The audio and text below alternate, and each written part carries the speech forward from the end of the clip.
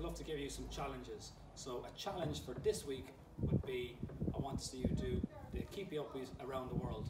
So you've seen that in the SIS 5s, the demonstration, where we're actually touching it with the ins with my left foot, my right foot, my left thigh, my right thigh, my both my shoulders, and then my head. And if you can get all that done, then you've completed it. But can you progress even further? Can you go the other way?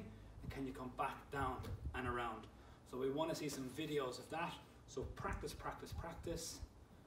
Don't have to get it done straight away, but keep practicing. And then once you've done that and you feel you've mastered it, get it on video and send it in. Okay, well done everyone. Have fun and stay safe.